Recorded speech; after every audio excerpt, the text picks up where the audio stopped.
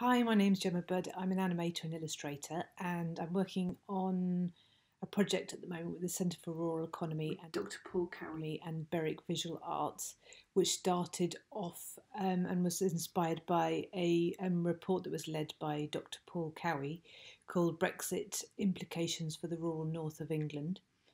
Um, I'd previously worked with the Centre for Rural Economy and Berwick Visual Arts before as artist in residence back in 2016, working with local dairy farmers about how their businesses were evolving and some of the obstacles they'd faced over the previous decades. And that resulted in a four metre long um, moving image mural, which you can see a bit of now.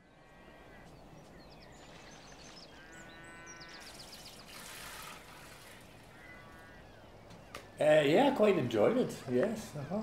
We built them up and tried different things because the land was pretty impoverished.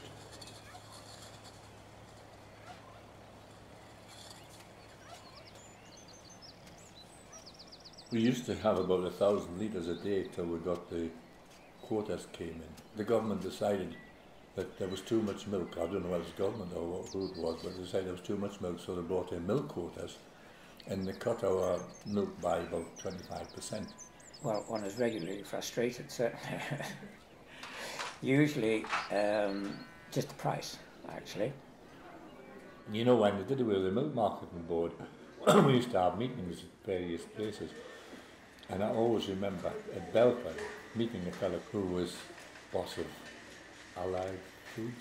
And he told me then, he says, if we can get milk 14 pence a litre from anywhere, Europe or Ireland, will do that. And that was the, the, the, way that the dairy prices dropped. One of the things that the report focuses on is our departure from the common agricultural policy and um, ideas and thoughts about what might replace it.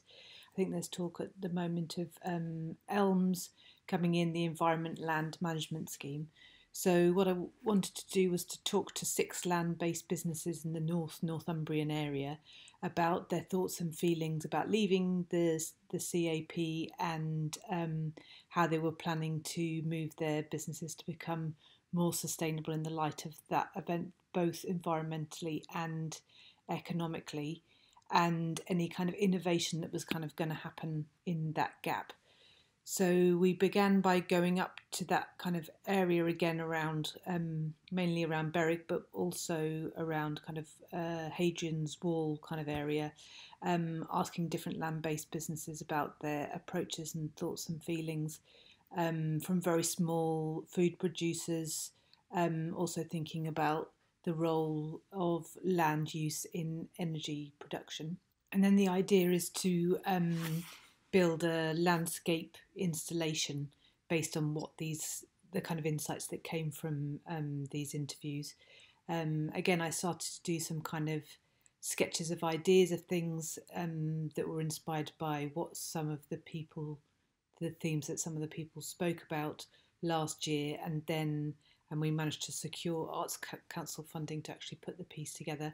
I think one of the main obstacles now is um, actually continuing the relationship with the different businesses and finding new people to talk to in the event of COVID 19. We're also looking at themes about how landscape is valued. At least 70% of um, the, the United Kingdom is built up of um, agricultural land. Um, so I think farmers are under increasing pressure to um, create kind of multifaceted landscape which is able to produce food and also to maintain habitats and biodiversity. And then, all being well, the project should be um, exhibited at the Sill Landscape Discovery Centre in September and the Gymnasium Gallery in Berwick in the spring of 2020.